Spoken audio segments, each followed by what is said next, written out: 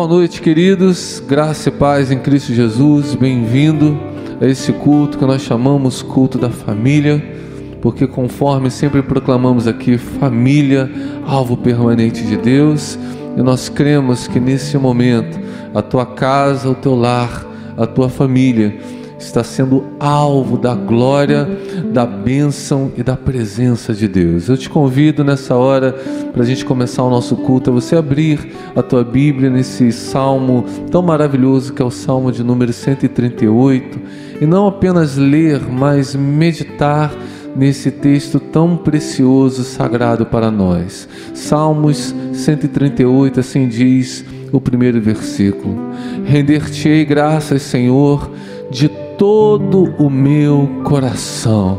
Na presença dos poderosos eu te cantarei louvores.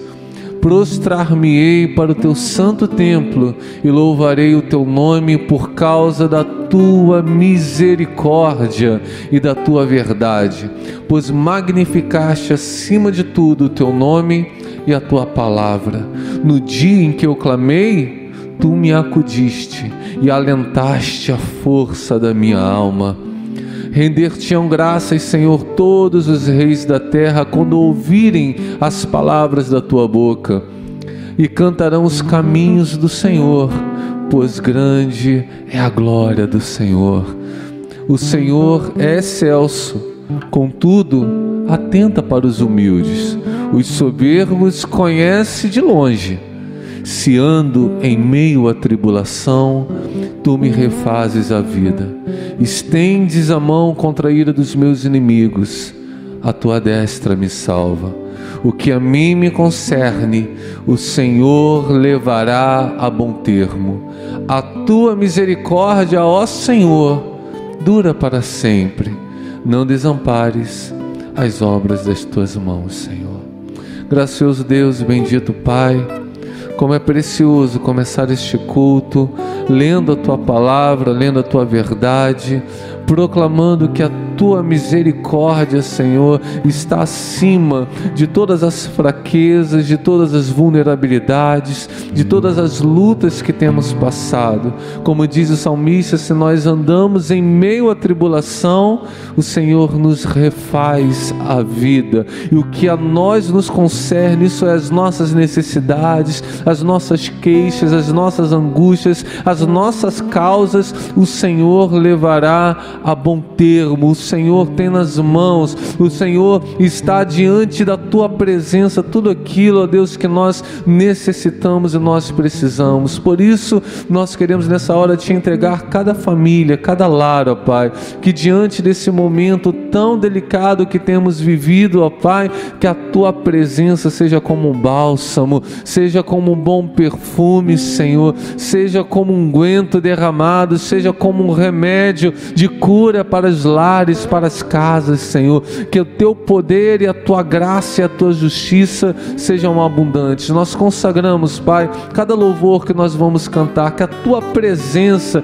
venha, ó Deus, a visitar cada pessoa nesta hora, renovando, restaurando, avivando, vivificando, despertando, levantando, fazendo a tua obra, Senhor. Nós queremos louvar o teu nome, Senhor. Nós queremos te dar graças e não queremos fazer isso de modo religioso apenas. Nós queremos te adorar em espírito e em verdade e render-te graças de todo o nosso coração, pois o Senhor é bom, a sua misericórdia dura para sempre e de geração em geração é a tua fidelidade. Tu és fiel, Senhor. Por isso nós te servimos, por isso nós estamos aqui. Recebe a nossa vida e nos abençoa neste culto no nome de Jesus Cristo. Que você diga amém e amém, queridos. Que confiam no Senhor são como um monte de Sião que não se abala, mas permanece firme para sempre. Vamos cantar essa verdade bíblica em nome de Jesus.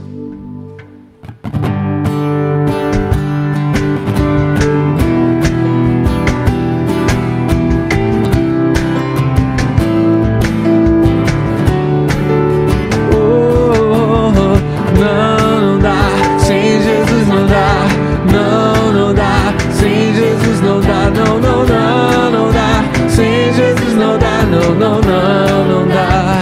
Os que confiam, os que confiam no Senhor são como os montes de Sião que não se abalam, mas permanecem para sempre. E como em volta de Jerusalém estão os montes, assim é o Senhor em volta do seu povo autoridade e poder, o domínio em tuas mãos, pois o Senhor é Deus, o Senhor é Rei dos povos. Calem-se diante dele a terra, dobrem joelhos, ergam as mãos, pois o Senhor é Deus, o Senhor é Rei dos povos. Então cante assim: Não, não dá, sem Jesus não dá, não, não dá, sem Jesus não dá, não, não, não, não dá, sem Jesus não dá, não, não, não, não dá, sem Jesus não dá, não, não, não dá. Sem Jesus não dá, Não, não, não, dá. Jesus não dá, não, não, não, não dá. Sem Jesus não dá. Não, não, não dá. Cante do começo, vai. Os que confiam no Senhor são como os de Sião que não se abalam, mas permanecem para sempre. E como em volta de Jerusalém estão os montes, assim o Senhor em volta do seu povo. Autoridade e poder, o domínio em suas mãos, Deus, o Senhor é Rei dos povos. Então, cale-se diante dele a terra, dobrem joelhos, ergam as mãos, pois o Senhor é Deus, o Senhor é Rei dos povos. autoridade e poder, autoridade e poder, o domínio em tuas mãos, pois o Senhor é Deus, o Senhor é Rei dos povos. Calem-se diante dele a terra, dobrem joelhos, ergam as mãos, pois o Senhor é Deus, o Senhor é Rei dos povos.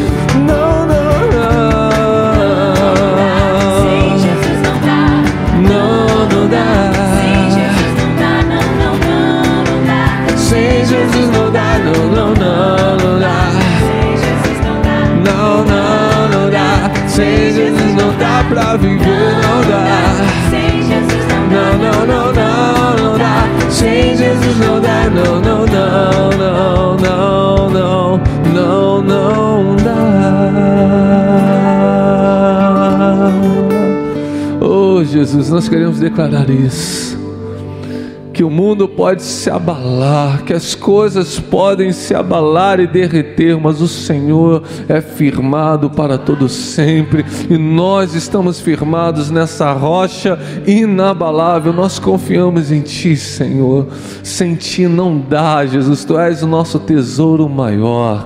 Tu és o nosso redentor, Tu és aquele que nos sustenta, Tu és o nosso provedor, Tu és aquele que nos cura, Tu és aquele que nos dá a paz. Como disse Jesus: quem me tem, tem a vida e vida em abundância. Por isso nós cremos que algo novo para nós, para todas as famílias, o Senhor está trazendo nesta noite. Em nome de Jesus. Aleluia.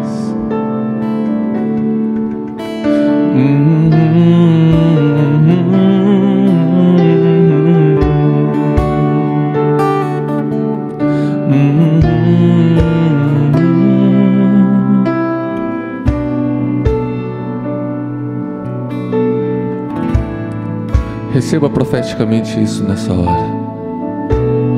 Novos sonhos, novas realizações esperam por ti.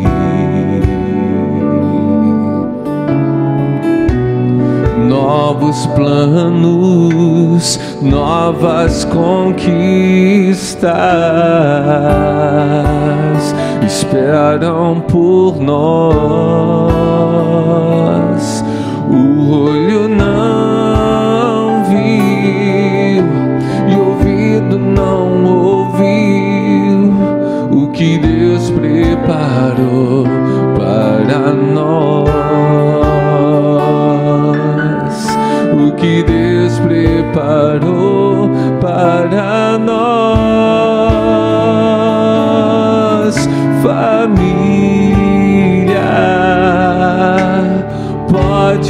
sonhar, mãe. Teu filho vai voltar, pai. Na mesa o pão não vai faltar. Ele é o bom pastor, não vai faltar. Promessas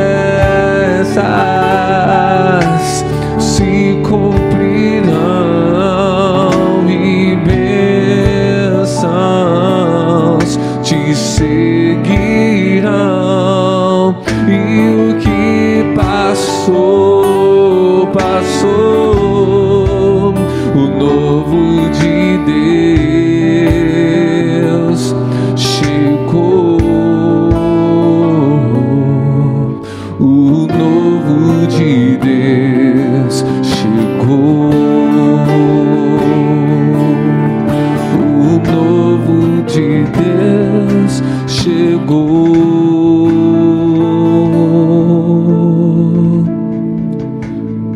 novos sonhos vindo sobre a tua vida. Novos sonhos, novas. Estão esperando por você. Esperam por ti.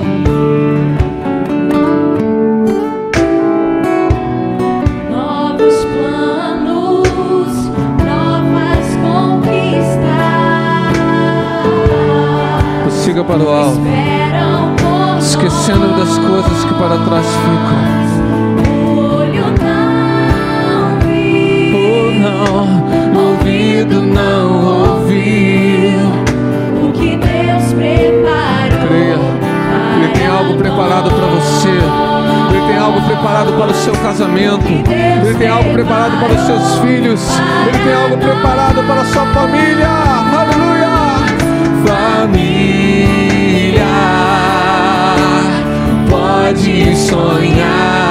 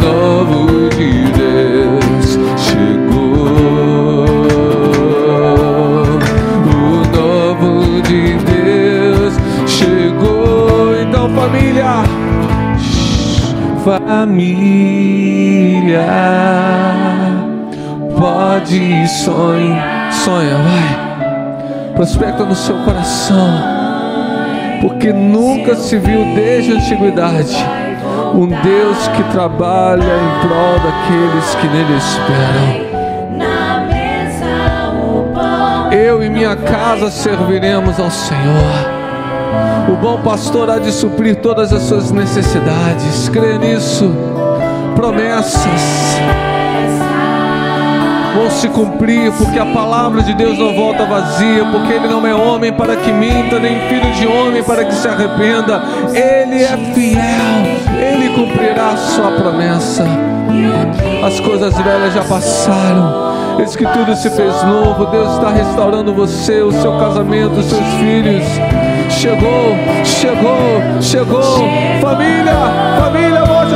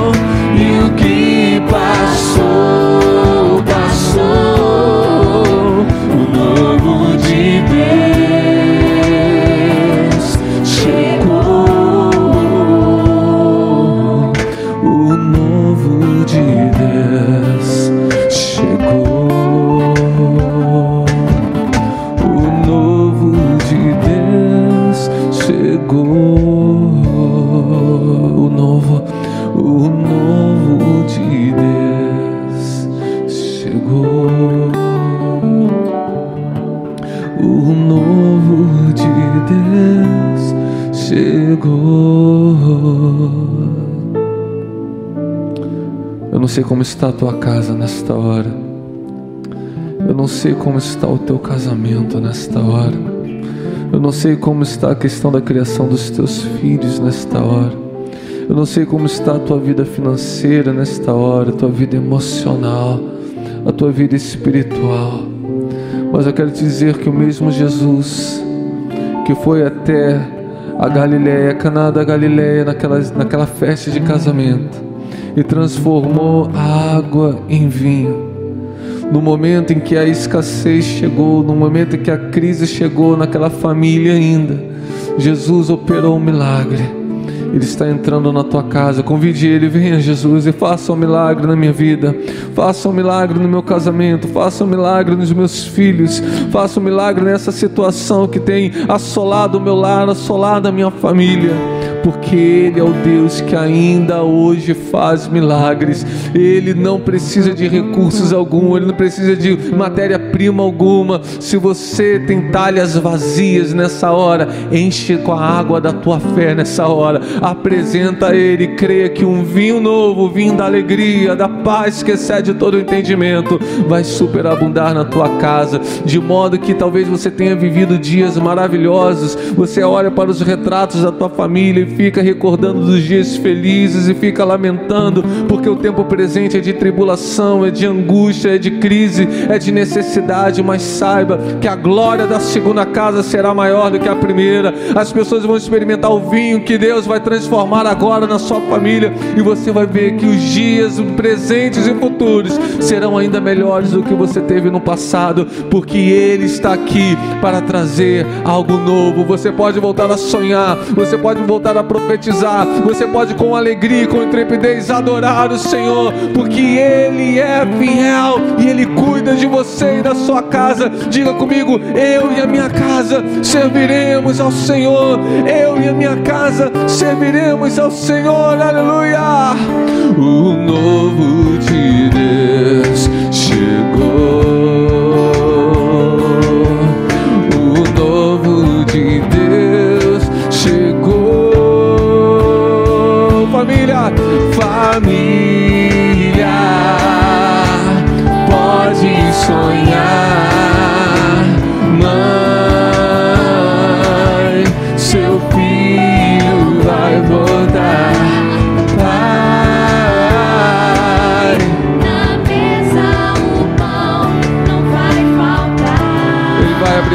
portas, Ele vai trazer existência que não existe, Ele vai trazer restituição à tua vida. Promessas se cumprirão, bênçãos te seguirão, e o que passou, passou, o novo de Deus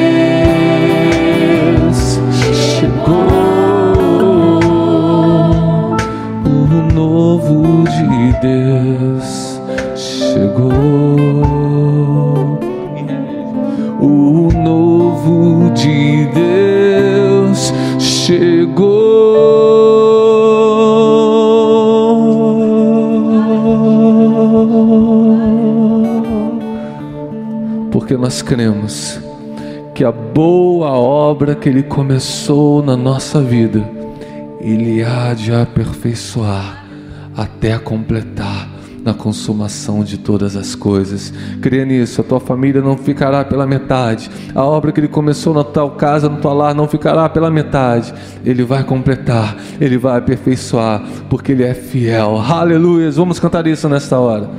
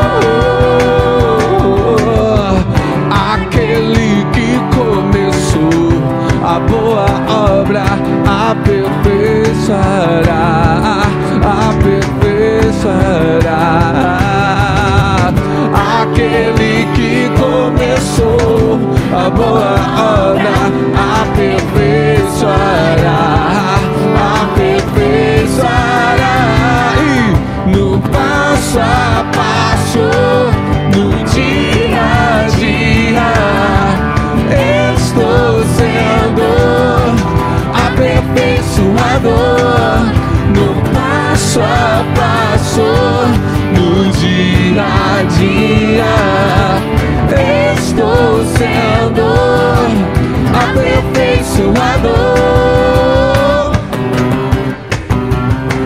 Eu vivo no caminho e o caminho vive em mim. Sou forjado pela vida, vida que morreu por mim. E com as perdas vou fazer degraus para subir mais alto.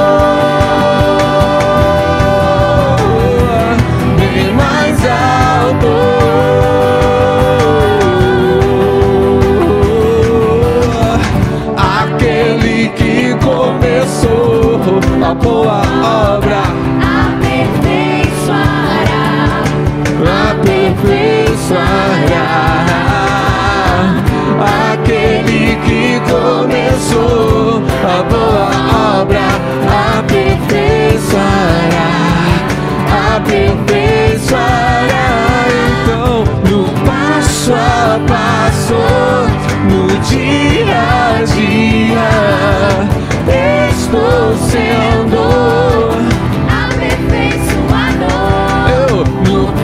passo a passo e no dia a dia estou sendo aperfeiçoado. Hum. Agora eu queria que você aí na tua casa, onde quer que você esteja, estenda as suas mãos assim comigo e declare: Filhos, pais, família, podem sonhar o que Deus começou, aperfeiçoará. Aperfeiçoará de novo. Igreja, ministério, corpo de Cristo, avançar. O que Deus começou, aperfeiçoará. Aperfeiçoará. Quero profetizar mais uma vez. Família, família.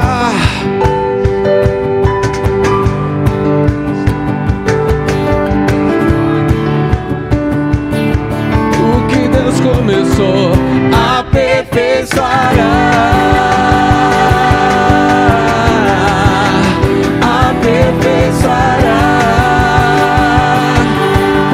de novo, para os filhos, para os pais, vai. Filhos, pais, família podem avançar.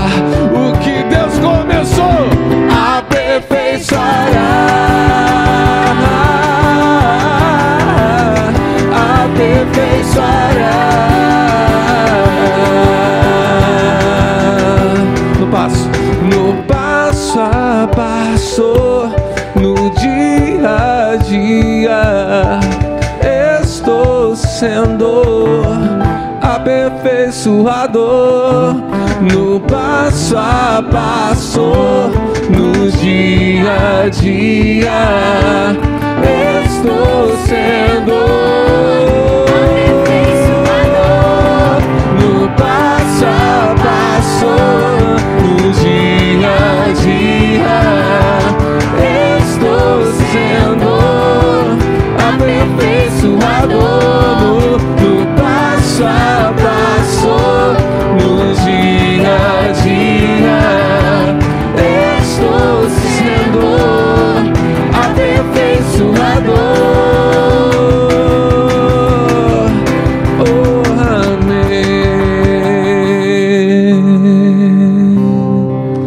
Você creia nessa verdade, querido. Filhos, pais, famílias, igreja, ministério, corpo de Cristo podem sonhar, podem avançar. O que Deus começou, Ele aperfeiçoará. Família, alvo permanente de Deus. Amém, queridos. Boa noite, igreja. Graça e paz do nosso Senhor e Salvador Jesus Cristo. Mais um culto da família, porque família é alvo permanente de Deus. Olha só, esperávamos que seria um tempo breve, um tempo rápido de isolamento social, e esse é o terceiro culto da família que a Igreja Nova Vida em Pôr da Pedra realiza, né? No mês de março, mês de abril, mês de junho. Terceiro culto da família, tem a igreja presente. Mas eu tenho certeza que a sua família tem sido ricamente abençoada com as palavras, com os louvores que têm sido ministrado aqui neste lugar. Antes de entrarmos na palavra do Senhor e antes de orarmos pelos aniversariantes do mês, né, seja de casamento, seja de nascimento, nós queremos fazer um comunicado pastoral para todos os membros da Igreja de Nova Vida em Pôr da Pedra e para os nossos amigos que têm nos acompanhado pelo YouTube. A primeira informação é que a nossa ação social continua. Então você pode nos abençoar com a sua oferta, depositando em uma das nossas contas, seja por transferência, seja por depósito. Né? Estamos comprando as cestas básicas completas, como também trazendo o seu alimento doado à nossa igreja para formarmos as cestas alternativas. Nos dois casos você pode nos abençoar e a minha oração é que você seja tocado por Deus, esteja nesse espírito de estar nos abençoando para atendermos famílias que perderam as suas frentes de trabalho. Assim como anunciei no culto da manhã, é, o mês de maio a demanda não foi tão grande quanto o mês de abril, mas teve uma boa demanda e não foi diferente no mês de junho. Então continuaremos abençoando famílias com as cestas básicas, com aquilo que eles estão necessitando. Então, se coloque à disposição, seja generoso, traga o seu alimento até a nossa igreja ou deposite a sua oferta de amor em uma das nossas contas. É, dentro desse comunicado, é, mais uma vez eu quero te lembrar que nós temos plantão de oficiais todos os dias aqui da semana, de segunda a sábado, das 18 às 20 horas e 30 minutos. Nós temos aqui oficiais para atender a você, receber a sua doação, como também para orar pela sua vida, te ouvir e com certeza você pode ser ricamente abençoado pela vida desses oficiais que se colocaram dispostos, disponíveis a estar aqui nesse plantão toda semana, domingo, das nove e meia até às onze e trinta horas e à tarde para a noite das 17 às 19 horas. Além de termos também o nosso plantão pastoral, segundas e quintas-feiras, das 18 às 20 horas e 30 minutos, pastor Guilherme está à disposição para realizar gabinete pastoral, como também ele tem um tempo na quarta-feira das 10 às 22, das 10 às 12 horas, perdão, e das 14 até às 17h30 na quarta. No sábado, quase no mesmo horário, das 10 às 12 horas e das 14 às 18 horas, 18 e 30 minutos. Então você pode marcar o gabinete pastoral com a nossa secretária irmã Amanda e o pastor Guilherme, junto com a sua esposa, está aqui prontos para lhe atender. Um outro aviso que é importante é que eu quero motivar a você a estar orando, orando em todo o tempo. A palavra de Deus nos ensina que devemos orar sem cessar. Precisamos estar coberto de oração. Você que é membro da nossa igreja, não deixe de orar pelo nosso retorno, né, pelo culto presencial, pela sua vida, pela sua família, pelo seu emprego, pela sua casa, pelo governo do nosso país. Esteja orando, querido, em todo o tempo é importante que nesse tempo de crise, nesse tempo de afastamento social, você se motive cada vez mais a estar buscando o autor e consumador da nossa fé, a estar orando Deus vivo e poderoso que está com seus ouvidos atento a ouvir o clamor que você faz, que nós fazemos e com as suas mãos estendidas para nos abençoar. Então, esteja orando em todo o tempo. Para a glória de Deus, Deus vai ouvir a sua oração e vai nos abençoar, como também abençoando sua casa, sua família e o nosso país. É, o comunicado pastoral que agora eu quero fazer é a respeito do nosso retorno ao culto presencial. E o retorno, é, nós estávamos estudando qual seria a data mais pertinente. Como nós temos uma série de coisas, né, de planejamento, de estruturação que temos que fazer aqui na igreja, é, determinamos, né, através da direção de Deus, colocar uma data efetiva agora. 12 de julho é o retorno do nosso culto presencial. E aí você vai poder é, se direcionar à nossa igreja no culto da manhã, das 9h30 até às 11h15, e à noite, das 19 horas até as 20 horas e 40 minutos, até as 20 horas e 50 minutos. Teremos à noite um culto é, assim mais dinâmico, de uma hora e 40, de uma hora e 45 minutos. E pela manhã um culto também dinâmico, mais ou menos de uma hora e 50, de duas horas no máximo. E aí eu quero orientar a todos os membros e amigos da nossa igreja. É, de manhã cedo eu falei que estava é, estabelecido que os idosos, é, os que têm comorbidade, estarão impedidos de estarem cultuando.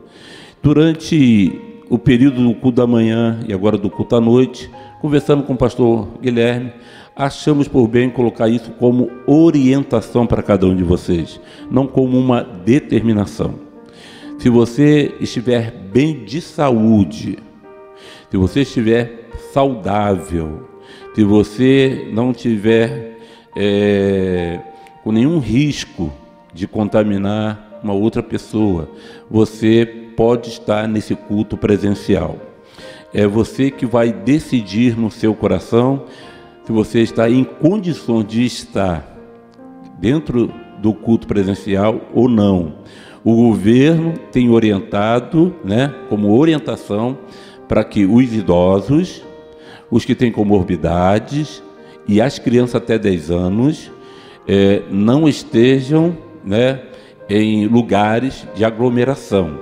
Como aqui nós não vamos ter aglomeração, estaremos é, estruturando a igreja para receber 30% da sua capacidade física, então você pode se colocar dentro desse quadro, né? É, para estar cultuando ao Senhor. Então, que você possa estar orando ao Senhor. É, estaremos com a nossa igreja higienizada, sanitizada, teremos todos os equipamentos, tanto de medida de temperatura, como também álcool gel espalhado por toda a igreja. Teremos um tapete umedecido com cloro e água, para que você, ao adentrar o santuário, esteja limpando seus pés. Todas as cadeiras serão é, sanitizadas, serão limpas, tanto no culto da manhã, como também para o culto da noite. Então, todo o ambiente estará preparado para te receber. A única coisa que, como pastor, eu te peço que você só se inscreva para estar no nosso culto presencial, é que você se avalie e veja se você está bem de saúde, para que você possa estar cultuando ao Senhor. Então, o aviso do culto da manhã tem é, esse intervir aí, esse, essa nova orientação, para que você possa se adequar. É, amados, eu preciso também comunicar a cada um de vocês, membros da nossa igreja, sobre o investimento que nós estamos fazendo para que o nosso culto seja ao vivo.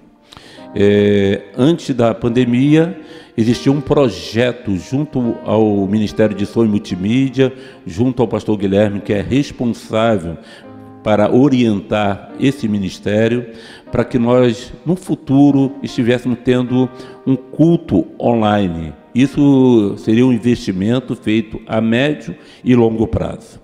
Quando chegou a pandemia, necessitamos investir de imediato na igreja para que nós tivéssemos câmera e condições de fazer o nosso culto online, que na realidade é gravado. Agora tivemos que ir ao mercado, comprar um computador de última geração, comprarmos mais uma câmera, comprarmos placa de áudio, placa de vídeo, placa de captura, cabos. Né? Nós temos que ter cabos aqui numa medida de 40 metros, um cabo que não é um preço de um fio qualquer, é um cabo especial. É, temos que comprar um programa de corte, né? para que quando o culto for transmitido ao vivo, é, as duas câmeras trabalhem em sintonia. É, temos que investir em treinamento, portanto, nós tivemos que contratar um profissional que entenda muito bem desse culto ao vivo, que vai habilitar, treinar todos os voluntários como filmar o culto, como trabalhar na edição desse culto ao vivo, como trabalhar com o som. E tudo isso, querido, custa dinheiro. Né? Nós sabemos que o nosso Deus é o Deus da provisão, é o Deus do ouro e da prata. Assim como eu falei de manhã cedo, no culto da manhã, eu repito algumas palavras do culto da manhã para que você esteja é, se colocando nessa brecha e nos ajudando com esse investimento que a igreja está fazendo nesses dias atuais. Nós temos uma prioridade que é a compra desse prédio, você que é membro sabe muito bem disso. E tivemos que lançar mão de recursos que não estava disponível e que tivemos que colocar disponível, porque desde o mês de março até o mês de junho, isso já foi avisado a cada membro da nossa igreja que as nossas ofertas tiveram a sua queda. Não temos tido culto presenciais, não temos tido é, o volume de dízimos que tínhamos antes, é, até pelo próprio afastamento, até de repente por pessoas que não estão sabendo fazer esse depósito, essa transferência. Então, nosso recurso teve uma boa queda, né? Temos pago as despesas, graças a Deus, mas aquele recurso que sempre nós investimos para a compra do prédio, isso não foi possível. Agora tivemos que investir um valor bem alto na compra de todos esses equipamentos. O dólar teve uma alta considerável e tudo que foi comprado, tudo ele, todos esses valores são medidos pelo dólar. Então foi um investimento que não foi 5 mil reais, foi muito mais do que 5 mil reais. Né? Fizemos uma previsão e já passou da nossa previsão. Então, com esta palavra, querido, eu gostaria de te motivar, de colocar você inerente, né, é, inerente não, é, colocar você situado em todas essas informações para que você deixe o Espírito Santo de Deus tocar no seu coração. É, nós precisamos, a partir do dia 12 de julho, fazer com que a imagem chegue até a casa de todos os irmãos que não vão poder estar no culto presencial. O pastor se importa e muito né, em levar a palavra de Deus a todos os membros e a todos os amigos. Parte da igreja não poderão estar presentes. E o que fazer com essa parte da igreja que não vão, não vão poder estar presentes? A mesma palavra ministrada no culto presencial será a mesma palavra que chegará na sua casa no mesmo instante, no mesmo horário e ao vivo. Então, querido, assim como Moisés convocou o povo para ofertar ouro, prata, madeiras e tudo aquilo que eles poderiam ofertar para a construção tanto do tabernáculo quanto da arca, o povo estava no deserto. Não era uma situação fácil. Eles não estavam vivendo numa uma comodidade, num lugar que desfrutava do bom e do melhor. Não, eles estavam ainda no deserto, atravessando o deserto para chegar à terra que manava leite e mel. E é nesse período de deserto que Moisés pede oferta. Moisés solicita ao povo que fossem generosos. E a palavra de Deus diz que todo o povo contribuiu para a construção do tabernáculo e da arca, ao ponto de Moisés solicitar ao povo que não ofertasse mais, porque já tinha mais do que o suficiente. Então, o que, eu aprendo com isso, querido? Que nós ofertamos quando nós não só estamos num patamar de vida estável, quando nós passamos também por crise. Desde o momento que nós temos um recurso, podemos ofertar. É no tempo de crise que a nossa oferta terá mais valor. E a prova disso é aquela mulher pobre, necessitada. Quando Jesus se colocou ali perto do gasofilácio e ele foi assistindo e observando cada ofertante que chegava ali e depositava a sua oferta no gasofilácio. E quando aquela mulher pobre e necessitada chegou e colocou suas últimas duas moedas, Jesus olhou para os seus discípulos e declarou: Esta mulher foi a mulher que ofertou aquilo que agradou o coração de Deus, porque ela deu tudo o que ela tinha. Aquela mulher, querido, está escrito aqui na Bíblia, essa passagem bíblica não é à toa, porque eu aprendo, querido, que é na hora do deserto, é na hora da dificuldade que nós aprendemos muito com Deus. Eu gostaria de te motivar, querido, mesmo que você esteja passando por desafios, por circunstâncias adversas, a não reter o que é do Senhor, a não deixar de ofertar. Estamos, como já falei, sem as ofertas voluntárias. Estamos recebendo os dízimos de vários irmãos que têm sido fiéis, várias irmãs, várias famílias. Mas o investimento que fizemos foi um valor considerável. Eu quero te motivar durante essa semana a fazer o seu melhor. Precisamos, no dia 12, ter toda essa estrutura pronta. E nós contamos com a sua fidelidade, com o seu amor. Não só devolvemos seu dízimo, como já é uma ordenança do Senhor, como também ofertando algo que lhe custe sacrifício. Faça isso em amor, em generosidade, em obediência, sabedor que aquele que coloca a semente na nossa sementeira é o Senhor. Diz a palavra do Senhor que aquele que semeia muito, ele colhe muito. Aquele que semeia pouco, pouco ele colhe. A palavra de Deus também nos ensina que nós devemos ofertar e dizimar segundo a proporção do que Deus nos abençoa. Então, toda essa palavra pastoral, querido, tem um fim. É, estamos fazendo o nosso melhor. Estamos trabalhando incansavelmente para que esse culto online chegue até a sua casa, como também a partir do dia 12 chegue ao vivo na sua casa. Temos uma equipe que Deus tem abençoado poderosamente, equipe de, né, de jovens, né, podemos dizer assim, que tem sido doado. Como eu sou grato a Deus pela vida de todos esses jovens, né, do Ministério de Louvor, que não tem deixado a igreja parar a palavra de Deus tem chegado até o seu lar. E isso, querido, tem sido com muito amor, com muito carinho, com muita dedicação. Nós temos homens e mulheres aqui no Ministério de Louvor, no, no nossos bastidores, que têm dado o seu melhor. Então, você está no conforto da sua casa. Muitos de vocês não, de repente, não conseguem se colocar, se situar em tudo aquilo que estamos fazendo. Estamos gravando culto, estamos fazendo a escola bíblica, tudo isso requer um esforço, requer uma dedicação. Que você também possa ser dedicado ao Senhor, que você possa ser generoso com o Senhor, que você possa, em nome de Jesus, ser tocado pelo Espírito Santo e, e dar o seu melhor para o Senhor. Seja sua oferta, seja seu dízimo, seja sua oração, seja sua vida devocional. Tudo que fazemos para o Senhor, querido, tem que ser feito de todo o coração, de toda a alma e de todo espírito.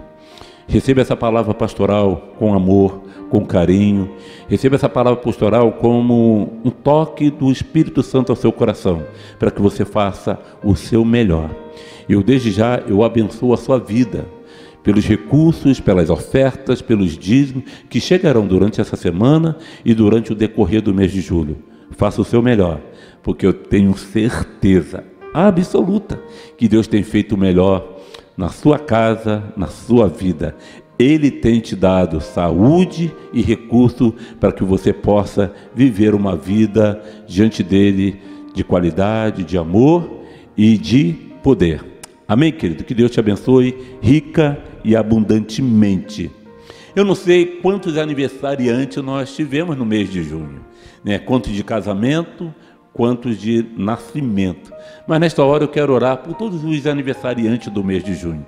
Assim como nós fazemos no culto presencial, quando nós chamamos aqui à frente todos os aniversariantes, aí eu, com coragem, com determinação, vou falando o nome de cada um.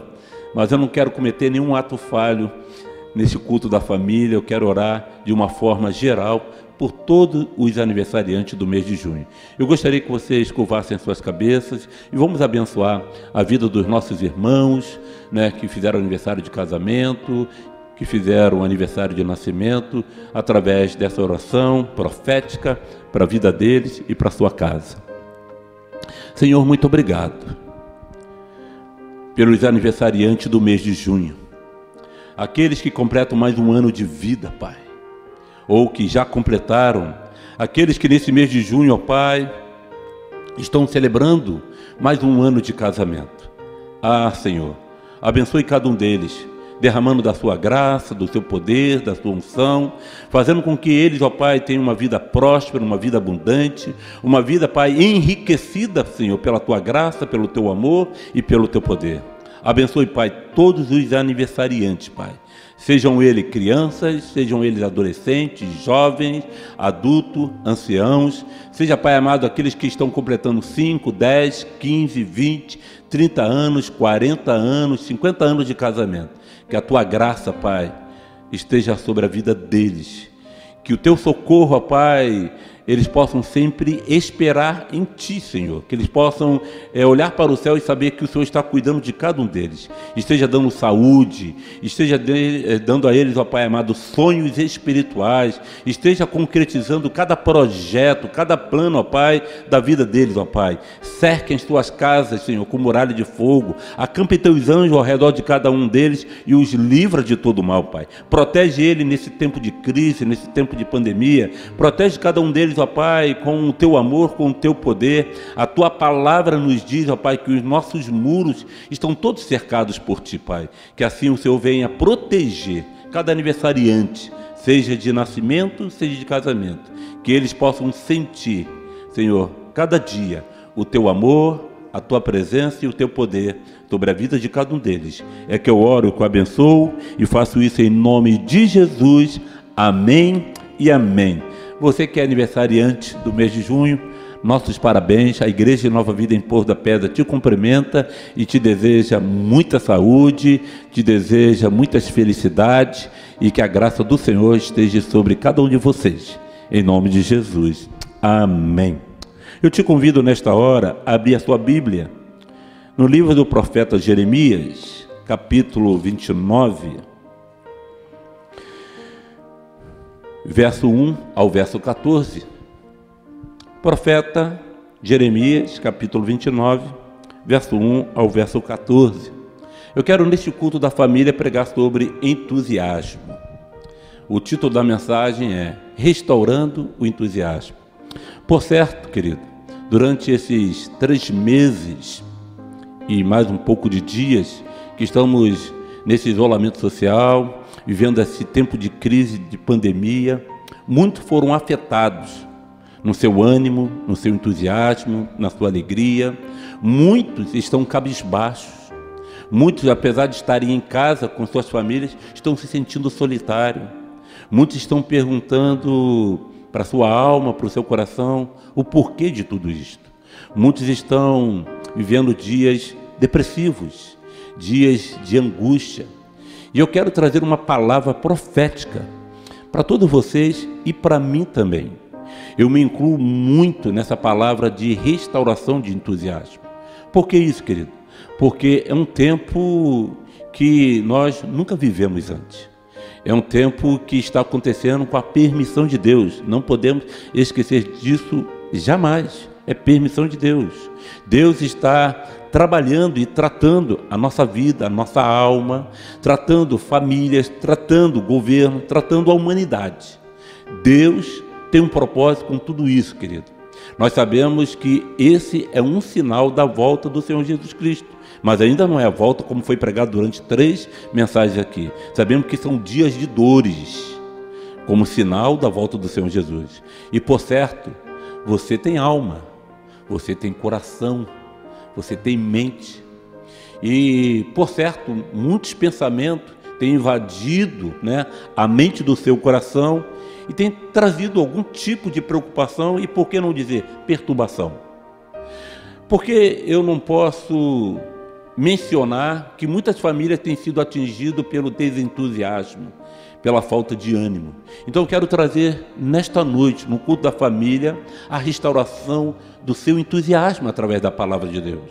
Eu quero focar nesta noite uma palavra profética para a sua vida. Eu quero pedir a cada um de vocês que estão cultuando conosco que você abra seu coração, que você abra sua mente para que essa palavra encontre o endereço certo que você não fique inerte aquilo que estará sendo profetizado nesta noite, neste culto de família. Que você não deixe de nos assistir neste culto.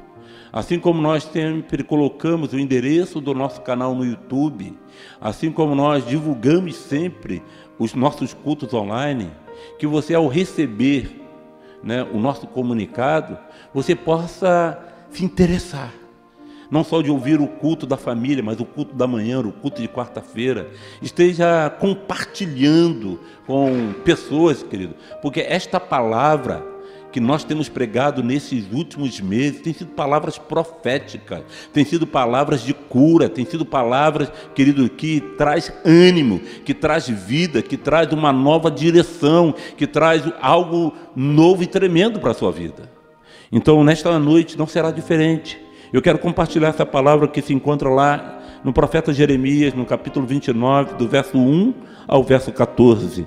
Depois nós vamos estar compartilhando alguns versículos bíblicos que está nesse texto e contextualizando para a nossa realidade nos dias de hoje. Diz assim o profeta Jeremias, no versículo 1 do capítulo 29. São estas as palavras da carta que Jeremias, o profeta, enviou de Jerusalém ao resto dos anciãos do cativeiro, como também aos sacerdotes, aos profetas e a todo o povo que Nabucodonosor havia deportado de Jerusalém para a Babilônia. Depois que saíram de Jerusalém, o rei Jeconias a rainha mãe, os, os oficiais, os príncipes de Judá e de Jerusalém, e os carpinteiros e ferreiros. A carta foi mandada por intermédio de Elasa, filho de Zafá, Zafã, e de Gemarias, filho de Uquias, os quais Zedequias, rei de Judá, tinha enviado à Babilônia, a Nabucodonosor, rei da Babilônia, e dizia: Assim diz a carta: Assim diz o Senhor dos Exércitos o Deus de Israel, a todos os exilados que eu deportei de Jerusalém para a Babilônia. Edificai casas e habitai nelas, plantai pomares e comei o seu fruto. Tomai esposas e gerai filhos e filhas. Tomai esposa para vossos filhos e dai vossas filhas a maridos, para que tenham filhos e filhas. Multiplicai-vos aí e não vos diminuais. Diz o versículo 7: Procurai a paz da cidade, para onde vos desterrei, e orai por ela ao Senhor. Quero repetir essa parte que se encontra no centro do versículo 7. Orai por ela ao Senhor, porque a sua paz, porque na sua paz vós tereis paz. Porque assim diz o Senhor dos Exércitos, o Deus de Israel: Não vos engane os vossos profetas que estão no meio de vós, nem os vossos adivinhos, nem dê ouvidos aos vossos sonhadores, que sempre sonham segundo o seu próprio desejo, segundo o vosso desejo, porque falsamente vos profetizam, eles em meu nome, eu não os enviei, diz o Senhor. Assim diz o Senhor: logo que se cumprir para a Babilônia setenta anos, atentarei para vós outros, e cumprirei para convosco a minha boa palavra, tornando a trazer-vos para este lugar. Diz assim o Senhor: olha só que texto tremendo, todos vocês conhecem. Eu é que sei que pensamento tenho a vosso respeito, diz o Senhor. Pensamento de paz e não de mal, para vos dar o fim que desejais. Versículo 12: Então me invocareis, passareis a orar mim, e eu vos ouvirei. Buscar-me-eis e me acharei quando me buscardes de todo o vosso coração. Serei achado de vós, ou oh, aleluia, diz o Senhor, e farei mudar a vossa sorte. Congregar-vos-ei de todas as nações e de todos os lugares para onde vos lancei, diz o Senhor, e tornarei a trazer-vos ao lugar donde vos mandei para o exílio. Pai amado, Pai querido, Obrigado por este momento tão singular de expressarmos, Senhor, através do nosso coração aquilo que teu Espírito colocou dentro de nós. Obrigado, Pai, porque eu sei que eu sou instrumento seu. Eu sei o que vai acontecer durante essa administração é algo, Pai, dirigido pelo teu Santo Espírito. Como vaso, como canal, me coloco diante de ti e em tuas mãos para que o Senhor venha me usar poderosamente. Desde já, Senhor, eu destruo, em nome de Jesus, tudo aquilo que é contrário à ação da tua palavra. Qualquer espírito de engano, qualquer surdez espirituais, qualquer mente conturbada e perturbada, eu repreendo agora em nome de Jesus, para que a tua palavra, Pai, tenha total ação em nossos corações e em nossas vidas. Me usa, Senhor, conforme o teu querer. É o que eu te peço em nome de Jesus. Amém e amém. Como eu falei anteriormente, quero falar para cada um de vocês a respeito de restaurando o entusiasmo. E o que é entusiasmo? Entusiasmo é um grande interesse, um intenso prazer, uma dedicação ardente, uma paixão, uma veemência com o que se fala, com o que se pratica, com o que se escreve. Entusiasmo é uma admiração. Podemos dizer que entusiasmo é um, arrebatamento, uma explosão de alegria, uma excitação de prazer dentro da nossa alma. E ao estudar essa palavra, ao meditar nesta palavra, e quando eu fui pesquisar um pouco do que é entusiasmo, eu vi que lá no grego, entusiasmo é representado por essa palavra muito parecida, entusiasmo que significa ter um Deus dentro de si. E eu achei isso muito interessante, que os gregos, quando se achavam entusiasmados, era como se eles tivessem um Deus o motivando dentro de si.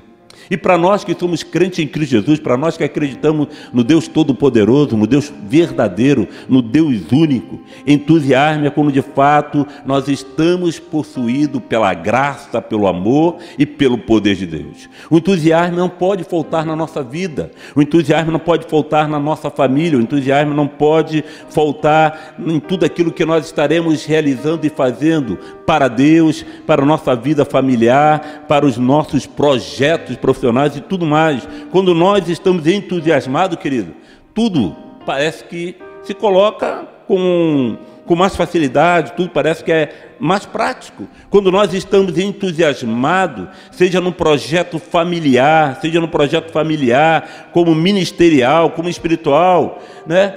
nós estamos, é, nós vamos caminhando com toda a força, com toda, com todo o ânimo, porque existe uma motivação que está nos mobilizando e nos movendo para conquistarmos algo ainda maior. Então eu quero dizer que entusiasmo é algo que é importante você ter isso na sua alma, no seu coração. Entusiasmo é um elemento vital, um elemento importante para que seus sonhos, seus projetos se concretizem e se realizem. Com entusiasmo, nós conseguimos fazer coisas inacreditáveis, podemos dizer assim. Né? Com entusiasmo, nós conseguimos ter força para fazer com que a nossa família seja ainda mais abençoada. Eu me lembro muito bem de quando eu estava me preparando para casar. Né? Eu com a minha noiva, a minha amada Fatinha, juntamos os recursos e um belo sábado nós saímos para comprar o nosso enxoval. E não era o enxoval da noiva e do noivo eh, separado, era o enxoval da nossa casa, os nossos móveis, as nossas mobílias. E que entusiasmo, que coisa bonita, que coisa intensa, que coisa interessante. Saindo lá de Santo Aleixo, de manhã cedinho, para ir para o centro do Rio de Janeiro, para comprar a nossa geladeira, os nossos móveis de casa, sabe, o nosso dormitório. Que entusiasmo! Quando chegou o dia do casamento, meu coração estava cheio de alegria, cheio de entusiasmo. Por quê? Estamos começando um novo tempo, uma nova trajetória na nossa vida. E aí o nosso coração se encheu de entusiasmo e tudo que parecia muito complicado, muito difícil, foi se tornando real, foi se tornando é, plausível. Por quê? Porque estávamos cheios de esperança, cheios de entusiasmo. Quando existe entusiasmo, dificilmente a derrota encontra espaço livre para atuar e destruir nossos sonhos e projetos como você precisa alimentar a família, o seu sonho com entusiasmo. E esse entusiasmo, com certeza, ele vem sempre da parte de Deus. Com certeza é Deus que vai te entusiasmar para que você vença todos os, os obstáculos. Mas quando o entusiasmo desmorona na nossa vida, quando o entusiasmo não está anelante no nosso ser, aí vem aquele sentimento de derrota, de, de tristeza, de abatimento, porque nós não estamos com o nosso coração, com a nossa alma entusiasmada para conquistar alguma coisa. Quando nós deixamos a crise dominar a nossa mente, o nosso coração, o ambiente da nossa casa, aí bate o desentusiasmo, e aí bate, sabe, as perdas, aí bate a tristeza, querido. O entusiasmo não alimentado, ele mata sonhos ele mata esperança. E o entusiasmo ele precisa ser alimentado, alimentado como? O entusiasmo precisa ser alimentado com a fé, com a coragem, com a esperança. O entusiasmo tem que exercer uma, uma função importante em nosso metabolismo, em nosso espírito e na nossa vida emocional. E nesse primeiro ponto que eu quero tocar, querido, o estado emocional influencia muito o nosso entusiasmo. Quando, quando estamos entusiasmados, nós nos sentimos, podemos dizer assim, próximos de Deus. Quando estamos entusiasmados, nós sentimos que as coisas ficam mais práticas, mais fáceis. Quando o entusiasmo vai embora, nós perdemos a alegria, perdemos a disposição. Quando o entusiasmo vai embora, nós perdemos o foco, nós perdemos a direção.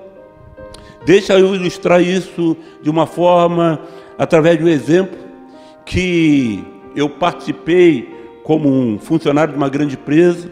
Uma certa manhã, eu fui convidado para uma reunião né, com o diretor da empresa. E o diretor reuniu todos os gerentes, supervisores dentro de uma sala de reunião. E ele declarou dessa, dessa, dessa forma: Eu estou me desligando hoje da empresa, estou saindo hoje da empresa, porque eu tenho saído da minha casa para vir trabalhar mas não tem tido mais ânimo, não tem tido mais entusiasmo. Eu não tenho sentido mais desejo no coração de estar aqui com vocês trabalhando. Algo me abateu e eu não tenho produzido aquilo que a empresa espera. Tenho chegado às 11 horas porque eu penso se venho trabalhar ou se não vem. Porque aquele homem, super capacitado, diretor de uma grande empresa, de repente estava se desligando de uma grande multinacional, porque o entusiasmo, a forma dele pensar, de agir, tinha fugido do seu coração. E o abatimento dominou a sua mente e o seu coração. Quando o entusiasmo desaparece, fica difícil recomeçar um trabalho. Quando o entusiasmo desaparece, fica difícil recomeçar uma caminhada ou um compromisso. Isso pode recorrer, é, acontecer com todos nós. E para que a gente não deixe esse entusiasmo morrer, querido, é necessário nós nos permanecermos de pé, mesmo vendo a situação adversa, mesmo vendo essa crise instalada no nosso país e no mundo afora, mesmo vendo as notícias de derrotas, as notícias de aflições, as notícias que têm chegado até a nossa casa, tentando nos apavorar, querido, nós precisamos manter aceso o entusiasmo no nosso coração. Muitos estão vivendo uma vida de frustração porque estão acreditando muito mais na notícia do que acreditando no Deus fiel que tudo pode. Muitos estão ficando abatidos e ficando desentusiasmados porque estão acreditando muito mais nas coisas que estão acontecendo à sua volta do que naquele Deus que tudo pode fazer. É importante que nessa hora você não perca o entusiasmo, ou se perdeu, é necessário você restaurar o seu entusiasmo para recomeçar um trabalho, recomeçar uma vida familiar, com graça, com amor, com poder. É necessário você restaurar o seu entusiasmo, para que seus sonhos sejam restaurados, para que o seu projeto seja restaurado, para que você consiga, através da graça de Deus e do seu entusiasmo, vencer os obstáculos e fazer com que a sua vida esteja focada em Deus. Para restaurar o entusiasmo, querido. Como já falei, é necessário uma vida de fé, uma vida de coragem, uma vida, acima de tudo, é, de certeza que a vontade de Deus é que está sobre nós. A vontade de Deus é soberana e é essa vontade que restaura o que foi destruído ou paralisado. Precisamos restaurar o nosso entusiasmo. E eu quero enfatizar no segundo ponto, querido. Assim como está escrito no versículo 1, no versículo 4, o entusiasmo é um princípio do coração de Deus. É, eu quando eu olho para Deus, através da Sua palavra, através da oração, através de uma intimidade com Ele, eu jamais vejo um Deus que está desentusiasmado. Deus está sempre, querido, pronto para nos abençoar. Deus é aquele que tem sempre uma palavra de fé, uma palavra de encorajamento para a nossa vida. E aí no versículo 1, Jeremias escreve assim: são estas palavras da carta de, de Jeremias, o profeta enviou de Jerusalém Preste atenção ao resto dos anciãos do cativeiro, como também aos sacerdotes, aos profetas e a todo o povo que Nabucodonosor havia deportado de Jerusalém para a Babilônia. Versículo 4: Assim diz o Senhor dos Exércitos, o Deus de Israel, a todos os exilados que eu deportei de Jerusalém para a Babilônia. Uma coisa que eu aprendo aqui, querido, quero enfatizar e deixar isso bem pertinente no seu coração, é que a palavra do Senhor está alcançando a todos. A palavra do Senhor está sendo dirigida a todos, não apenas a uma classe, não apenas a determinados indivíduos. A carta está sendo escrita para todos que foram exilados lá na Babilônia. Não é apenas para os anciãos, não é apenas para os sacerdotes, não é apenas para os profetas. Tudo o que está escrito aqui em Jeremias capítulo 29 é para todo o povo que se encontra exilado na Babilônia.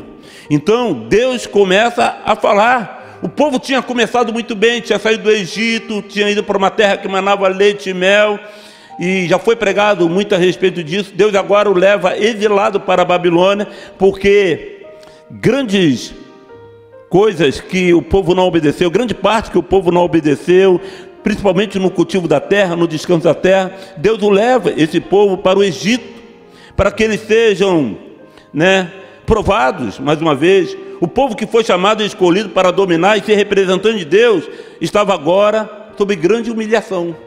Estava exilado na Babilônia. O rei Nabucodonosor, por duas vezes, invadiu Jerusalém, destruiu os muros, destruiu o templo, levou os príncipes para a Babilônia, levou parte do povo para a Babilônia.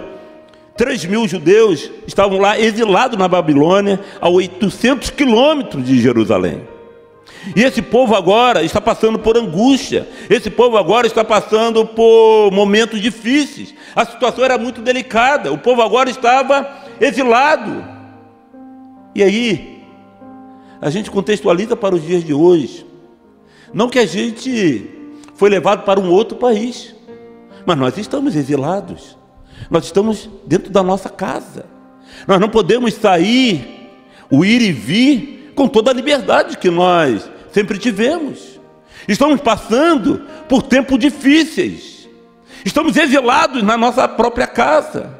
Estamos trabalhando no nosso próprio lar.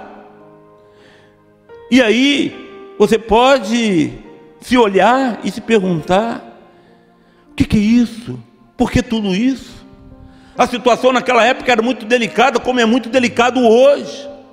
Ele estava agora vivendo sob um regime completamente diferente do regime de Israel, do reinado de Israel. Agora ele estava vivendo sob o regime de Nabucodonosor, numa terra pagã, numa terra que tinha costumes que não é, agradavam ao Senhor. E agora nós estamos também exilados, vivendo essa pandemia. E Deus nos fala nesta noite, querido. Deus fala para você, para sua família, para casais, para filhos. Não deixe com que o entusiasmo morra. Não deixe que o ânimo seja colocado à parte. Assim como foi com eles, Deus está nos escrevendo, falando conosco nesta atualidade, para que nós mantenhamos vivo o nosso entusiasmo. A situação era muito delicada. Deus usa o profeta Jeremias para escrever e alertar o povo. Deus olhou para o povo e viu que o povo estava numa mesmice, estava acomodado, estava achando que tudo era o fim, que não tinha mais condições de voltar a sonhar, de voltar a ter projeto. Deus olha para o povo, querido, que está escravizado na Babilônia e vê que o povo estava com o coração afastado, entristecido, abatido. E Deus usa o teu filho, o teu profeta, para orientar o povo a enfrentar aquela situação com força, com entusiasmo. É muito importante, querido, que você nesta noite receba essa palavra profética para a sua família, para a sua vida, para a sua casa. É muito importante que você, dentro desse contexto, querido, se coloca diante de Deus com entusiasmo, com ânimo novo para vencer essa crise. Oh, aleluia! E nesse texto nós podemos tirar quatro lições. Quatro lições que são inerentes para todos nós Quatro lições, querido, que nós precisamos inculcar na nossa mente, no nosso coração.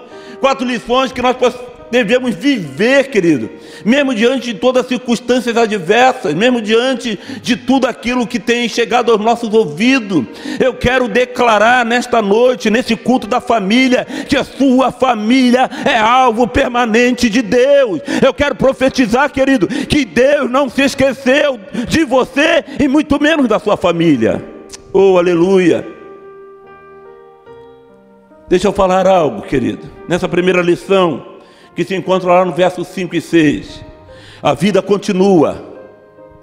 A vida continua.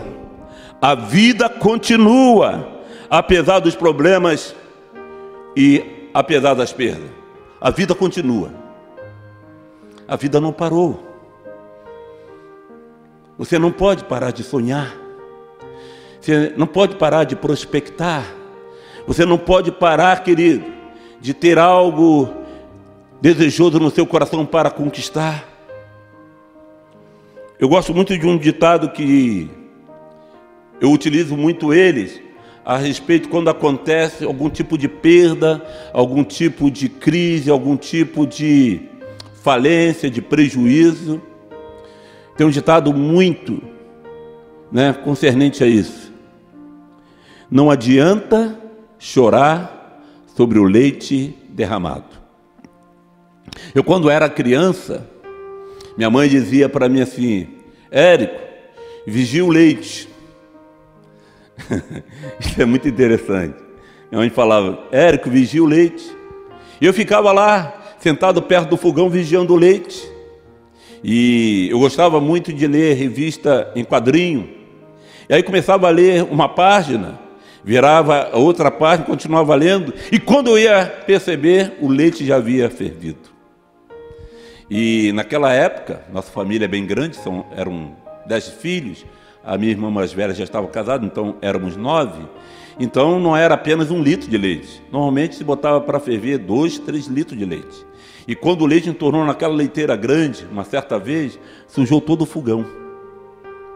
E minha mãe ralhou um pouco comigo, ralhou. Mas agora era aproveitar o que tinha sobrado e limpar o leite que havia sido derramado. Porque o leite derramado, querido, você não pode mais recuperar. Então não adianta chorar sobre o leite derramado. Você tem que aproveitar o que sobrou e fazer daquele que sobrou, né, o suficiente para alimentar a família. Então não adianta você olhar para essa situação e lamentar, e lamentar, e lamentar, murmurar, murmurar, murmurar. Não! Você tem, querido, que focar em Deus, você tem que buscar ajuda em Deus, porque a vida continua, apesar dos problemas e apesar das perdas. Não adianta olhar para trás e achar que antigamente tudo era muito bom, mas quando se instalou essa crise, a financeira, há dois anos atrás, agora essa pandemia, e agora estamos a penar, estamos passando por grandes Desafio, meu querido, quero te dizer uma coisa: os dias são difíceis, mas o seu Deus continua sendo o mesmo. O seu Deus tem algo importante e poderoso para fazer na sua vida. Sabemos que não é fácil recomeçar, sabemos que não é fácil restaurar algo que se perdeu, querido. Mas deixa eu te falar uma coisa: não é impossível. para Deus, nada é impossível. Você pode ter tido um grande prejuízo, você pode ter tido uma perda familiar, querido. Mas Deus é aquele que conforta, é aquele que consola. Deus é aquele que restitui, Deus é aquele que restaura, Deus é aquele que faz você sonhar de novo, querido, com coisas grandes e maravilhosas.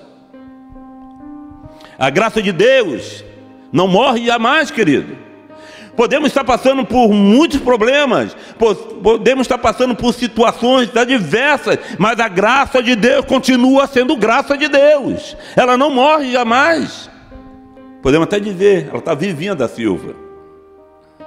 As misericórdias do Senhor, como já pregamos algumas vezes aqui, querido, está ali, ó, firme, para nos abençoar, para nos guardar as misericórdias de Deus são as causas de não sermos consumidos. Ela é infinita, querido. Deus continua poderoso e vivo para nos ajudar, para nos sustentar, para nos reanimar, para trazer um novo entusiasmo no nosso viver. Esse versículo 5 e 6 diz assim: Edificai casas e habitai nelas, plantai pomares e comei o seu fruto, tomai esposas e gerai filhos e filhas, tomai esposa para vossos filhos, e dai vossas filhas, e dai vossas filhas de marido, para que tenham filhos e filhas, multiplicai-os aí, e não vos diminuais. Que palavra interessante, querido. Que palavra de encorajamento Deus está enviando para o povo que está na Babilônia. Aquele povo que estava exilado, aquele povo que poderia estar, ou estava, é, pensando que já era o fim, Deus utiliza o seu profeta, Deus utiliza o seu filho, Deus usa o seu filho para escrever para esses que estão exilados. Jeremias, querido, era o profeta que não foi para o exílio, ele está em Jerusalém, e Deus utiliza Jeremias a 800 quilômetros para escrever a esses exilados, para não perderem o entusiasmo, não perderem a esperança, querido. A primeira ordem de Deus é construam casas, habitem nelas, plantem jardim, comam dos seus frutos. Resumindo, trabalhem, se desenvolva, plantem, colham, não deixe de habitar em casas, não deixe de plantarem, não deixe de, de, de construírem, comam dos seus frutos. Querido, Deus está falando para a sua família, Deus está falando para você. Não é tempo de parar, não é tempo de ficar na inércia, não é tempo de perguntar o porquê, e sim para quê. Deus está agindo dessa forma, e Deus te manda Comece a sonhar de novo, comece a construir de novo, começa a trabalhar, a edificar algo novo na sua vida. Ó oh, família de Deus, não deixa se perder no seu coração, na sua alma, o entusiasmo. Deixa ele ser restaurado pelo poder da graça de Deus em sua vida. Deus dá essa primeira ordem: construam casa, habitem nela, plantem jardim, como dos seus frutos trabalhem. A segunda ordem, querido, é muito interessante, é muito pertinente para nós, famílias. Deus diz assim: Tomai esposa e gerai filhos e filhas, tomai esposa para vossos filhos e dai vossas filhas a marido para que tenham filhos e filhas, multiplicai-vos aí, não vos diminuais. Resumindo, preservem a família lutem pelas suas famílias, lutem pelos seus parentes, lutem pelos seus familiares. Pastor, está em tempo de crise, estamos afastados socialmente. Deixa eu te falar uma coisa. Eu estou vivendo a mesma coisa de cada um de vocês. Nós estamos sendo prudentes, como o tempo nos orienta a ser. Eu tenho seis netos. E eu não estou vendo meus netos todos os dias, todas as semanas. Só uma vez, eu levantei um sábado e fui aonde morava minha filha. A desculpa era levar um bolo, um pedaço de bolo que a minha esposa tinha feito, um bolo delicioso. Mas para ver a distância, os meus quatro netos, que eu já não via há 60 dias. Meus netos que moram aqui muito próximo à nossa casa. Estou já sem vê-lo há 60 dias. Com todo cuidado. Mas isso, querido, não me deixa para baixo continuo orando por eles, continuo investindo na vida dele em oração, em ligações, pelo WhatsApp, por todos os meios que a, que a mídia me oferece, mas eu não deixo de valorizar a família. E Jeremias está falando para esse povo que está exilado: ó, oh, casem-se, tenham filhos, é, invista na sua casa, invista na sua família. E é isso que eu quero dizer para cada um de vocês: não deixe de lutar pela sua casa, pela sua família. Nós sabemos que esse tempo tem gerado gerado divisões, facções, tem gerado intrigas, tem gerado brigas, tem gerado afastamento conjugal, tem feito os filhos ficarem estressados com o dia a dia, porque estão isolados, estão estudando online, isso ou aquilo, querido, mas é hora de você investir entusiasmo, fé e coragem na sua casa e na sua família. Deus falou para um povo que estava exilado, e Deus nos fala neste tempo atual, querido que precisamos investir na nossa família. Deus está te dizendo hoje: não cruze os braços, não se acomode com essa situação, lute, ore, busque a face de Deus, não se entregue, a vida continua. Não se entregue, existe algo novo que Deus quer fazer através de você e em você. Não deixe de vivê-la, pelo contrário, valorize ainda mais. Porque o dom da vida é Deus quem te dá. A sua família foi Deus que te deu. Então cuide bem dela. A ame. Invista nela. Não deixe o entusiasmo da sua casa, da sua família ficar estarrecido, estagnado, paralisado. Se motive esta palavra está sendo para você, família de Deus, como também para mim e para minha família. Se motive, ore, busque a face do Senhor. Não deixe as perdas, não deixe os problemas da vida te levar para o poço, Pelo contrário, como nós falamos aqui, na última, no último domingo, olha para o céu, porque é de lá que vem o nosso socorro bem presente na hora da angústia. A segunda lição que eu quero falar para vocês, a primeira lição é: apesar dos problemas e da perda, a vida continua. A segunda lição é: valorize o lugar que está vivendo e cuide desse lugar. Valorize o lugar que você está vivendo. Não teve outro tempo, querido, que nós, principalmente quem tem filhos sem casar ainda, tempo de acolhimento, tempo de estar junto. Este povo aqui na Babilônia estava sofrendo forte opressão do governo babilônico, estavam exilados, podemos dizer escravizados, não tinham direitos nenhum. Numa situação assim, o normal é o lamento, o choro, o desapontamento, a desilu- a desilusão, é, tomando conta do coração, dos sentimentos. Mas a ordem de Deus era para que ele tomasse uma atitude, uma postura diferente, completamente diferente que a situação pedia. Ore ao Senhor em favor dela. Que interessante, querido. Deus está ordenando o seu povo a orar pelo governo da Babilônia. Deus está ordenando o seu povo a suplicar pelo reinado de Nabucodonosor. Olha só o que diz o versículo 7. Procurai paz da cidade para onde vos enviei, e orai por ela ao Senhor, porque na sua paz vós tereis paz.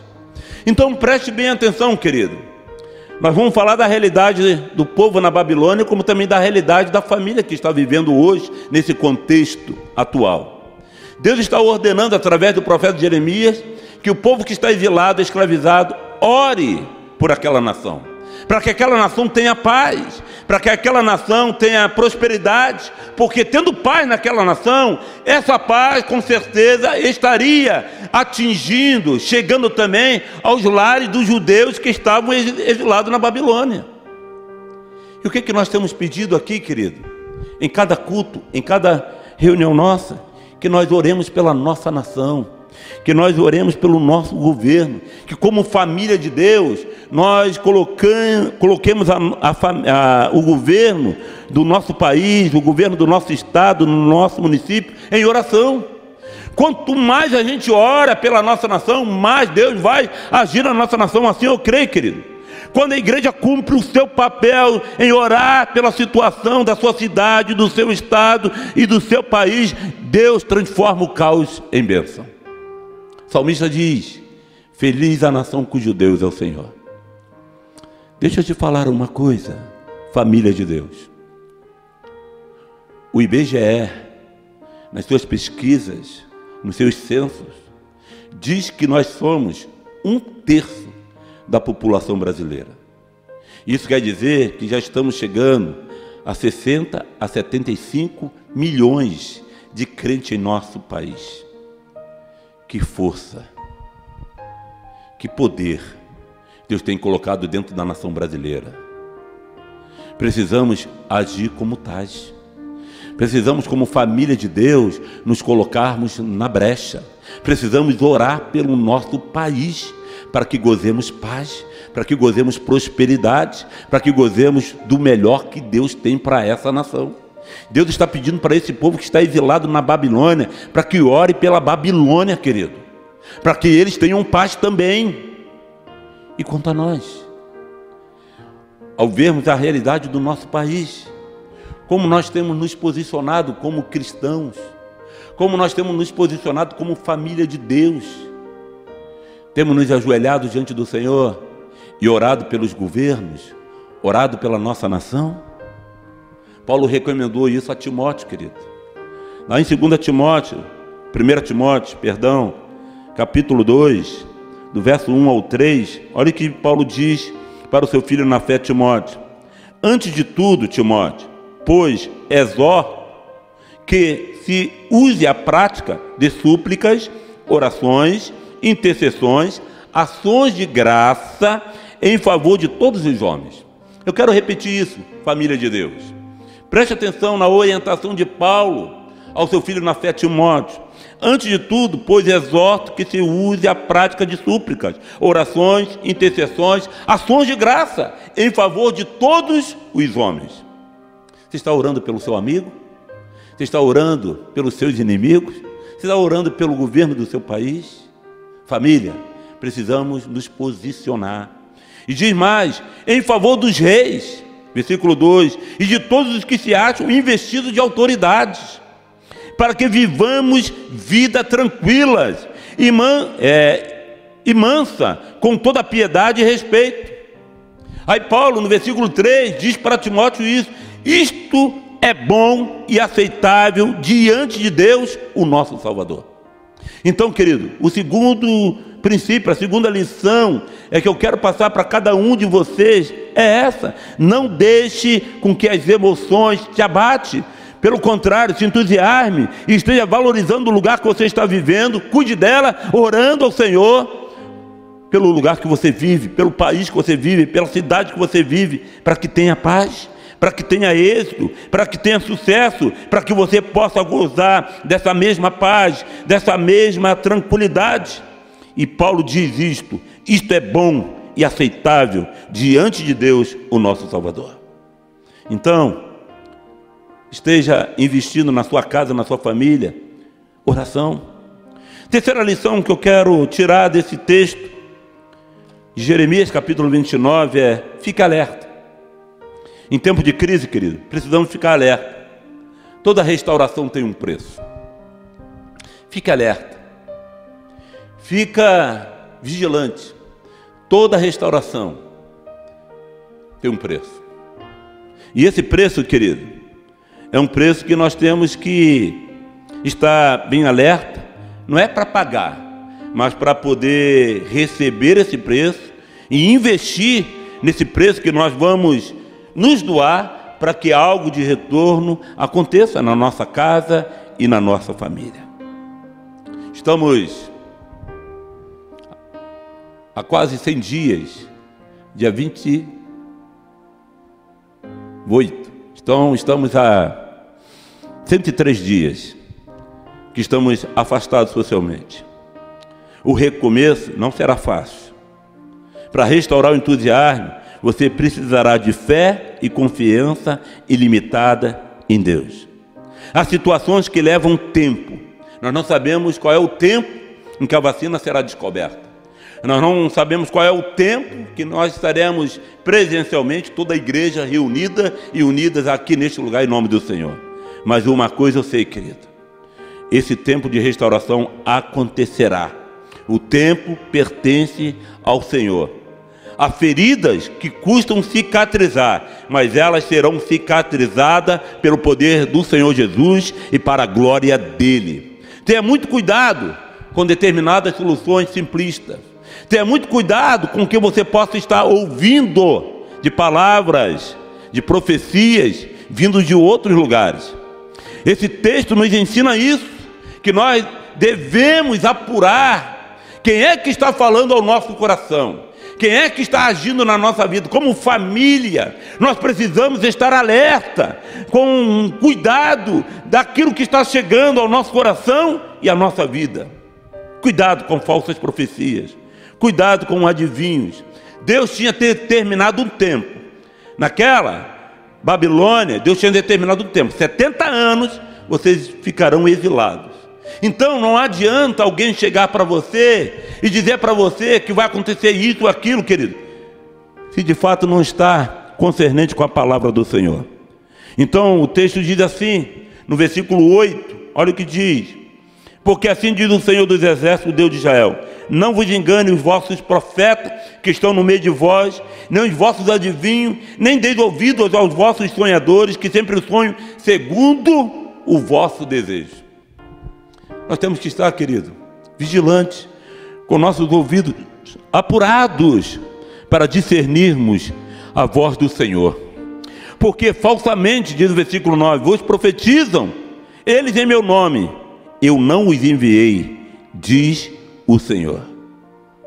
Logo que se cumprirem para a Babilônia 70 anos, atentarei para vós outros e cumprirei para convosco a minha boa palavra, tornando a trazer-vos para este lugar.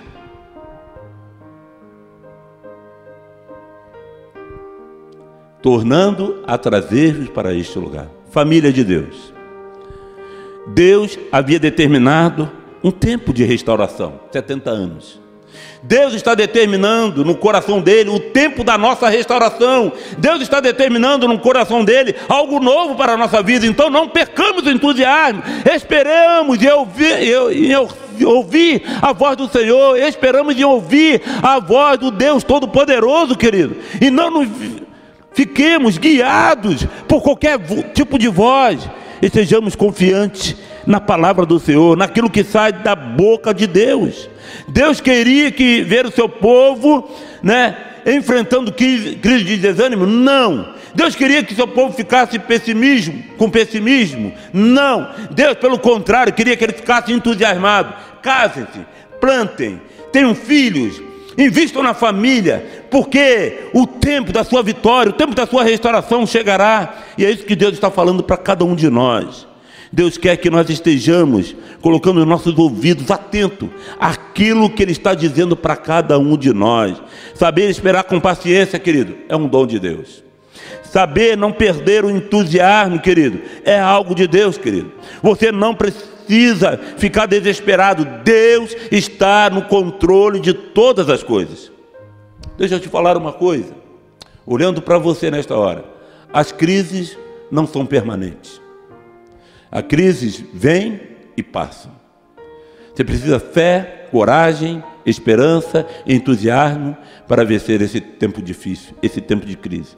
A sua família tem que estar unida, tem que estar com um objetivo único, tem que estar focada para que você vença esses dias difíceis.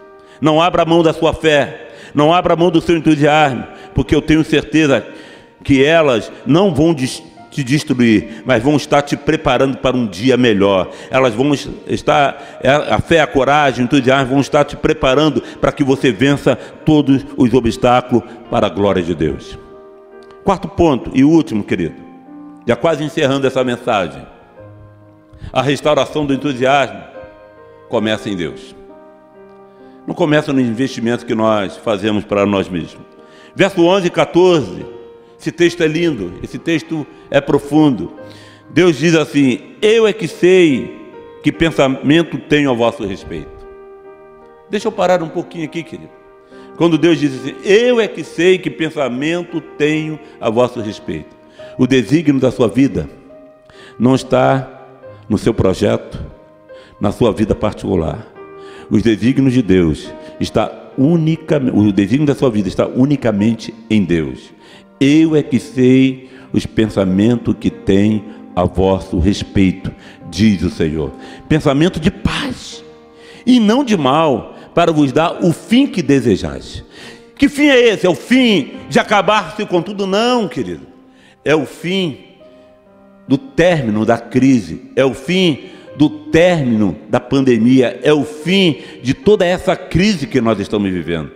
Eu é que sei que pensamento tenho a vosso respeito, pensamento de paz e não de mal, para que vos dá o fim que desejais. Eu desejo ver todos vocês aqui. Estou com muita saudade de vocês, como seu pastor, como seu amigo. Estou com saudade dos nossos cultos presenciais. Imagine Deus, através da nossa unidade, através das nossas confraternizações. Tá certo? O início será de todo cuidado, mas Deus vai restaurar esse dia, onde estaremos cantando, pulando, com toda a liberdade do espírito aqui neste lugar. O início será com máscara, o início será com álcool gel, mas vai chegar o tempo de uma restauração total e divina aqui neste lugar. A restauração do entusiasmo começa em Deus, querido. Versículo 12 diz: Então me invocareis passareis a orar a mim e eu vos ouvirei. Buscar-me-eis e me acharei quando me buscar de todo o vosso coração. Conselho de Deus.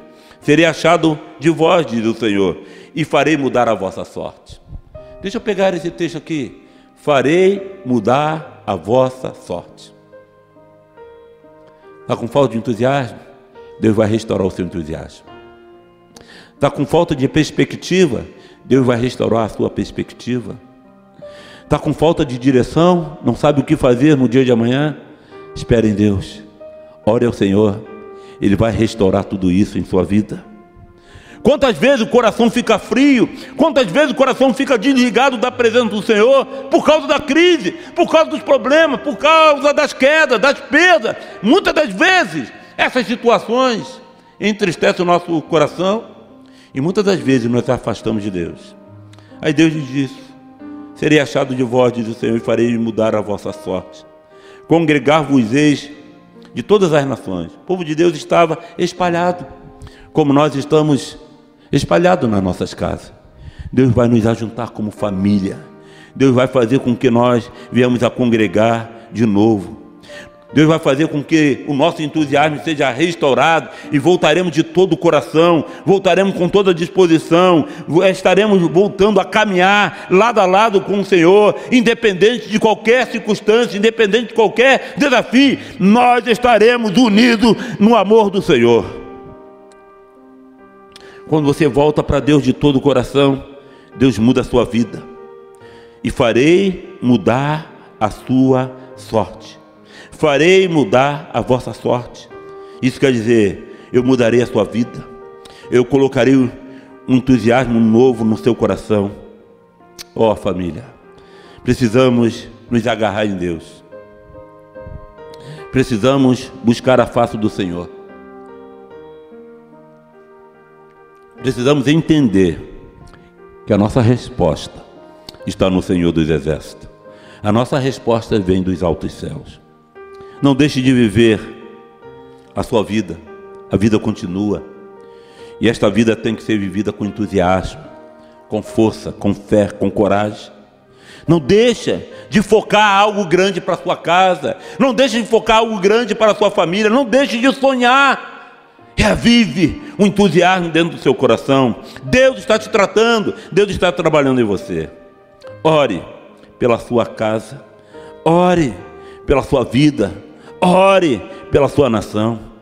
Espere em Deus, porque Deus está atento a todo o nosso clamor. Diz assim: Buscar-me-eis e me achareis, quando me buscar de todo o vosso coração. Versículo 13. Não espere soluções fáceis, mas em todo esse tempo que é difícil, Deus estará trabalhando a nosso favor. Se você se distanciou de Deus, se seu coração está abatido, desanimado, volte-se para Deus de todo o coração. Se você fizer assim, ele mudará a sorte da sua vida, Ele mudará a sorte da sua família. Mesmo em meio à aflição, mesmo em meio a circunstâncias adversas, Deus está trabalhando para te restaurar. Aprenda a reconstruir aquilo que foi destruído. Assim como Neemias voltou para Jerusalém e, junto com o povo, reconstruiu as muralhas. Aprenda, aprenda com Esdra e com Zorobabel a reconstruir o templo do Senhor. Assim como eles reconstruíram os muros, assim como eles reconstruíram o templo, Deus quer que através do seu entusiasmo, sua família seja reconstruída para a glória dele. Não se deixe desanimar, nem se contaminar pelas perdas, pelas desilusões, pela frustração. Existe um Deus que nos motiva, que nos entusiasma, que nos dá direção. O Senhor vai cuidar de cada dia. É importante que você recomece. É importante que você esteja na presença do Senhor. Não deixe que o diabo, não deixe que Satanás com seus anjos traga palavra de derrota ao seu coração. Lute contra isso. Deus está falando contigo nesta hora. Esteja orando, esteja me buscando de todo o seu coração, porque a vossa sorte será mudada. Deus quer realizar maravilhas, milagres em você e através de você. Para isso, é necessário que você restaure o seu entusiasmo. Deus tem algo novo para fazer na sua vida. Deus tem uma nova história para escrever a seu respeito. Deus tem algo tremendo para fazer em você, marido, esposa e filhos. Se coloque diante de Deus. Deixa o seu coração ficar entusiasmado em Deus. Deixa com que o ânimo seja revigorado dentro da sua vida. Tenha esperança, tenha fé, tenha coragem. Se coloque diante de Deus, porque Ele tudo pode fazer em você e através de você. Ele abençoa a sua casa, Ele abençoa a sua família. Feche seus olhos agora, curvem as suas cabeças. Eu quero ministrar sobre a sua casa, sobre a sua família. Senhor, obrigado por esta palavra. Precisamos, Pai, em todo o tempo, restaurar o nosso entusiasmo, restaurar as nossas convicções, restaurar nossa fé, restaurar nossa coragem, restaurar nossa vida emocional, para que possamos, Senhor, durante essa crise, durante essa pandemia, durante esses dias difíceis, sonhar e sonhar forte, sonhar alto, sonhar pela nossa família, sonhar pelos nossos filhos, sonhar, ó Pai, pela nossa casa, Senhor. Restaura, Senhor, em nome de Jesus. Cada família que estão nos ouvindo agora, nesse instante, toque em cada vida, toque em cada coração, ó Deus. Faz o um milagre acontecer na vida deles. Ah, Senhor, nós sabemos que assim como foi com o povo da Babilônia, Pai foi necessário Jeremias escrever uma carta de ânimo, uma carta que o motivasse, Senhor, a sonhar, uma carta que o motivasse eles a plantarem, a trabalharem, a colherem, uma carta que fosse necessário, ao Pai amado, a eles investirem nas suas casas, nas suas famílias, uma carta, ao Pai amado, que foi necessário ser escrita, Pai, para que ele esperasse em Ti, esperasse, ó Pai, que a sorte dele seria restaurada, e não é diferente nos dias de hoje, ó Pai. Restaura a sorte de cada família. Restaura a sorte, ó Pai, de cada um deles, ó Pai. Faça, Senhor, com que eles estejam olhando unicamente para Ti. Não pelas situações que os cerquem, Pai, mas sabedor, ó Pai, que o Senhor é o Deus que realiza milagre, é o Deus que tudo faz, é o Deus que exerce poder na vida de cada um. Para tanto, Pai, é necessário que nós tenhamos o nosso coração completamente focado em Ti, entusiasmado em Ti nos use, Pai, e faz com que esse novo tempo seja vivido por mim e por cada um que está nos ouvindo, nos assistindo nessa hora. Que a tua graça esteja sobre ele. Eu oro, Pai, pela restauração de cada família e de cada vida, e faço isso em nome de Jesus. Amém e amém. Amados, como sempre eu falo no encerramento do culto, a minha expectativa é que essa palavra chegue até você como flecha com palavra profética na sua vida, para que o seu coração seja transformado, mudado. Se você já é membro da nossa igreja, amém. Mas se você é amigo, né, tem nos assistido, você que ainda não é crente em Cristo Jesus, Deus quer restaurar sua sorte. Deus quer te trazer, um entusiasmo novo, um ânimo novo na sua vida e na trajetória da sua vida. Aceita Ele como seu Senhor, como seu Salvador, e Deus transformará completamente o seu viver. Se você é uma pessoa que já aceitou Jesus como Salvador, mas o desânimo chegou, o entusiasmo não está mais latente no seu coração, você se afastou do caminho do Senhor, Deus te espera de braços abertos para te abraçar de novo. Como filho pródigo, como filha pródiga, Ele quer te receber de novo. Então volte para o Senhor. Deixa Deus restaurar um novo tempo na sua vida. Que Deus possa te abençoar rica e abundantemente. Que a graça do nosso Senhor e Salvador Jesus Cristo, o amor de Deus, o nosso eterno e bondoso Pai, e que as ricas e doces consolações do Espírito Santo de Deus esteja com toda a igreja, desde agora e para sempre. Amém e amém.